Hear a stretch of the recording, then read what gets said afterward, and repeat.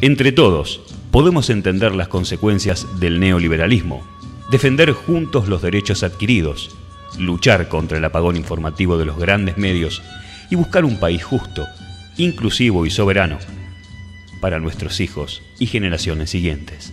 Entre todos, hagamos realidad líquida el programa de Resistiendo con Aguante Almirante Brown. Un grupo heterogéneo de trabajadores, amas de casa, jubilados, militantes y profesionales de distintas áreas que más allá de las redes sociales interactúa cara a cara. Sumate, la realidad se te puede escurrir entre las manos o pensarla y hacer algo. Si todos hacemos algo por el otro, el país en el que vivimos será mucho mejor.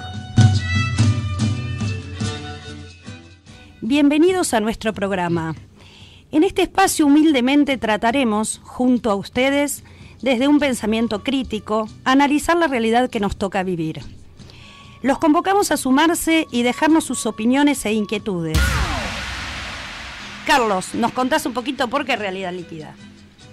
Eh, el doctor Simon Bauman, a quien seguramente vamos a citar repetidas veces, filósofo contemporáneo, define la modernidad líquida como una metáfora del cambio, de la transitoriedad, una metáfora de la transformación social en que participamos todos los días, usted, yo, todos. La realidad antes era sólida y los sólidos conservan su forma, persisten en el tiempo. Firmes y duraderos nos sirven como puntos de apoyo. Así, las familias eran más estables y conformaban el núcleo social básico y firme de esta sociedad. Durante este año y más o menos el endeudamiento de este año nuevo fueron 50 mil millones de dólares, más o menos. Las reservas pasaron de 26 mil millones de dólares, que la dejó el kirchnerismo, a 36. ¿El resto dónde está? El resto es fuga. Sí, la bicicleta financiera parece ser impulsada siempre muy vigorosamente por los gobiernos neoliberales. En realidad creo que esto tiene que ver más con abrir todas las puertas a la entrada y salida de los capitales eh, sin ningún tipo de control a favor de los intereses del país. El mundo fue y será una porquería, ya lo sé. En el 510 y en el 2000 también, que siempre ha habido chorros, maquiavelos y escapados, contentos y amargados, valores y dobleos. Y tenemos una invitada especial, Cecilia Cecchini, que es la secretaria general de la CTA Almirante Brown e integrante de la multisectorial. Realidad líquida. Ya que nosotros somos esto que dice Carlos, una articulación de actores locales, eh, políticos, sociales, gremiales que defendemos derechos. Pero si tenemos un lugar para canalizarlo, no estamos siendo escuchados a nivel nacional, pero sí en el municipio, hasta para intervenir en casos específicos cuando las empresas de gas, luz y agua eh, cometen abusos sobre los vecinos, bueno, hoy nos encontramos que en el municipio hay una herramienta y esto ayuda a que nuestra tarea no digo, tenga dos planos. Una, poder abordar situaciones particulares, por esto que decía Mirna, nosotros no podemos permitirnos que haya compañeros, vecinos, eh, personas mayores, personas con discapacidades que tengan eh, falta de acceso al servicio por falta de pago, por cortes, ante X problema, pero tampoco podemos dejar la calle, ¿no? Las dos cosas. Entonces es interesante que esto pueda darse. Bueno, como dijimos en el programa anterior, hoy vamos a seguir tratando el tema de la memoria porque nada alcanza frente al silencio que nos quieren imponer. Justamente por lo mismo, hoy tenemos como invitado especial al realizador del documental y del libro, eh, Juan Carlos Rainieri, el, licenciado Juan Carlos Rainieri. Realidad líquida. En Almirante Brown em, hay alrededor de una docena de personas identificadas pero incluso de los restos exhumados en su momento en el cementerio mm, municipal de Rafael Calzada, hay muchos que sí, efectivamente han sido eh, identificados y hay algunos todavía pendientes de identificación. Esta situación de estar todavía los restos pendientes de identificación solamente se explica, la única razón que lo, que lo explica es que sus familiares no han hecho la donación de sangre. ADN. Claro, para establecer a partir de esas tres gotitas de sangre el código genético y compararlo, se, se- se construye lo que se llama el Banco Nacional de Familiares y eso se compara con cada eh, resto que se encuentran en esa situación.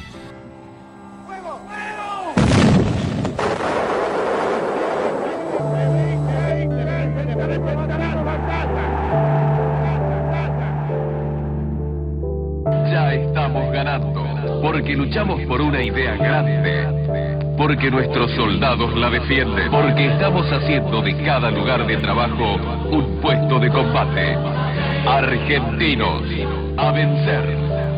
Cada uno en lo suyo, defendiendo lo nuestro. Esto es la Plaza de Mayo, hoy y ahora. Este nuevo episodio que vivimos con serenidad y hasta con alegría, señor. Comunicado del Estado Mayor Conjunto número 165.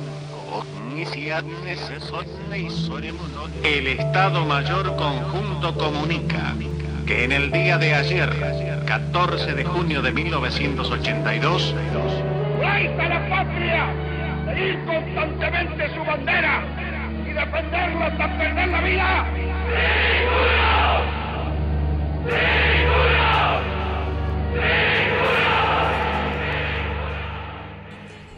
Mientras escuchaba la editorial, a veces pareciera ser como que nos cuesta, ¿sí? Poder escuchar por, por el dolor que, que surge desde esas desde esos hechos. Hablábamos hace un ratito en la mesa que difícil se nos hace afrontar día a día las distintas situaciones que van sucediendo.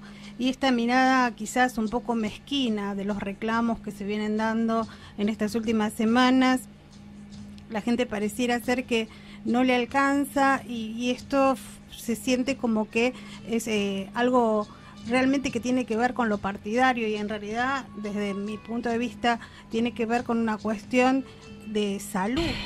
Sí. A ver, eh, nadie mejor que en este caso Francisco, que acaba de llegar. Bienvenido, Francisco. Gracias por venir. No, gracias por invitarme, gracias por. Nosotros a esto le llamamos malvinizar, gracias por abrirme las puertas. El agradecido, eh, los agradecidos somos los veteranos de guerra. Pertenecía a la compañía de combate Ingeniero 601, eh, soy clase 63. eh, mi compañía completa entró el 18 de febrero de 1982 y el 10 de abril de 1982 de premio toda la compañía fuimos a Malvinas. Fuimos los que hicimos los campos minados que todavía tienen problemas. Volamos el puente de Philroy, que eso hizo que 3.500 galeses jamás puedan entrar en combate y cuatro perdieron en la voladura. Volamos el camino que de mucho nos sirvió porque los tipos venían con unos equipos terribles, nos pasaron por arriba igual. Hicimos los cazas bobos, eh, trampas, eh, fuera, eh, era nuestra misión allá. Nos superaban en número, en, profe- en profesionalismo y por más que nosotros pusimos lo que pusimos, que fue eh, por ejemplo, en la cancha de fútbol, ¿qué haríamos? Los morderíamos, los patearíamos, los escuperíamos, los Sí, agarraríamos la ropa, todo, poner todo. Pero a la larga no iban a pasar por encima. Eso pasó desgraciadamente en Malvinas. O sea, voluntad hubo, y porque no nos quedaba otro, y porque queríamos seguir sobreviviendo, y porque la causa nuestra era no por odiar al enemigo, sino por amor a los que estaban atrás nuestro. Realidad líquida. Eh, y el mismo miedo le hizo hacer cosas que no eran necesarias a su propia tropa, como estaquearlos. En mi compañía, González, Héctor González, fue un eh, estaqueado y está con vida, vive en Capital, y todavía no lo puede superar. Bueno, eh, sí, como dijo Mirna, se nos hizo muy chiquitito el programa. Dani, ¿tenés algo para decir? Sí, nos llamó Irma de Bursaco para agradecerte a vos como representante de todos los, los que fueron y decía que se sentía avergonzada por el agradecida hacia ustedes y avergonzada por el trato que habían recibido de las propias fuerzas, de cómo los habían Maltratado. Bien, estamos todos muy emocionados y nos resultó muy, muy corto el programa. Me preguntaron cómo vivía, me preguntaron. Sobreviviendo, dije, sobreviviendo. Tengo escrito más de mil veces. En él repito siempre que mientras alguien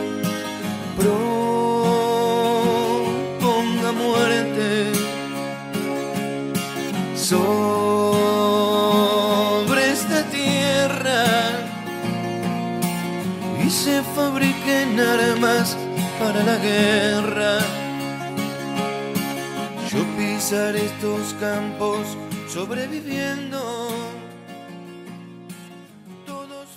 Norma Ruiz, que es la titular del Consejo Municipal de las Mujeres de Almirante Brown, y Nancy Lilian Huguet, directora y fundadora del refugio Huguet Mondaca. Hoy el tema que vamos a tratar es violencia de género. Eh, la creación del refugio es hace 14 años. Eh, no es que un día se me ocurrió voy a poner un refugio para víctimas de violencia de género, sino que eh, me llamaba siempre poderosamente la atención durante ya desde mi adolescencia el rol que ocupábamos las mujeres, ¿no? Yo tengo 51 años y bueno, cuando yo tenía 15, 16 años esto era todavía más eh, digamos, era mucho más agresivo hacia nosotras, ¿no? Y me llamaba poderosamente la atención eh, el estado de sumisión, de resignación, ¿no? De naturalizar ya ese maltrato, esa sumisión. Y bueno, siempre eh, me preguntaba por qué se soportaba eso. Yo no lo soportaba, yo no lo toleraba. y siempre le preguntaba a las mujeres que conocidas, ¿no? amigas, familiares, eh, ¿por qué no, no te vas? ¿Por qué no lo denuncias y te vas? Y bueno, y la respuesta siempre era la misma, porque no tengo dónde ir.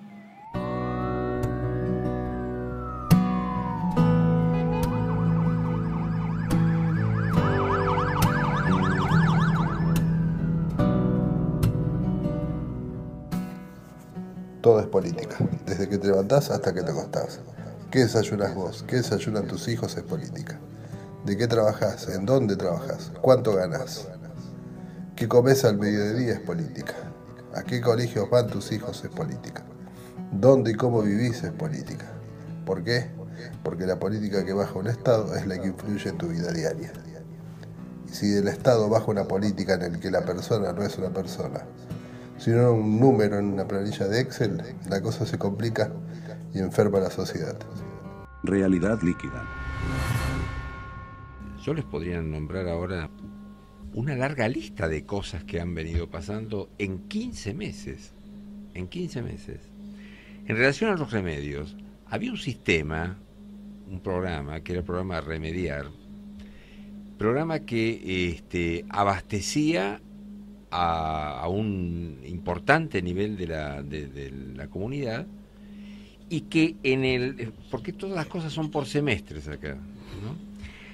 En el, remediar, en el primer semestre, había disminuido en realidad en, relación al semestre del 2015, en el 2016, en el primer semestre, había disminuido el 40% de los tratamientos. ¿Se entiende?